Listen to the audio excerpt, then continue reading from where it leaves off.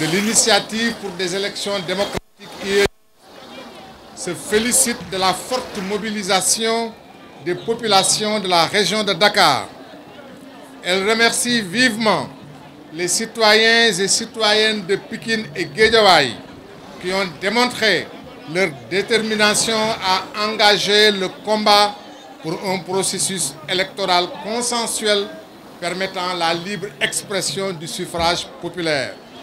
Cette forte mobilisation des militants et militantes rassure les leaders sur la justesse de leur position et sur la nécessité de continuer le combat jusqu'à la victoire finale. La conférence des leaders est plus que jamais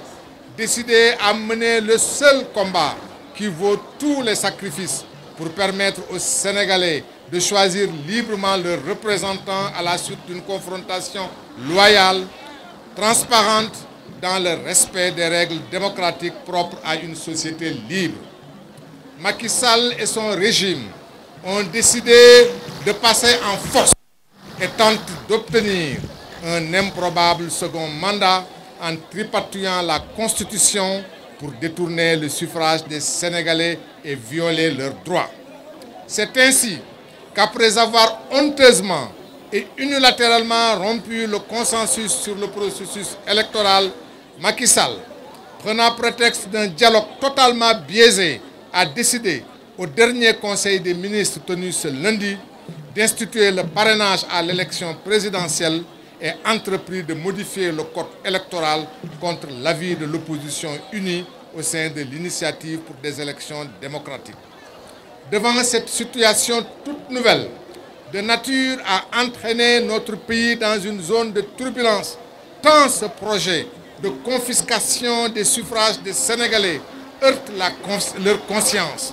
La conférence réévalue la nature et les formes du combat à mener et tient d'ores et déjà Macky Sall personnellement responsable, pour responsable des conséquences désastreuses de toute manipulation et tripatouillage de la Constitution de la République.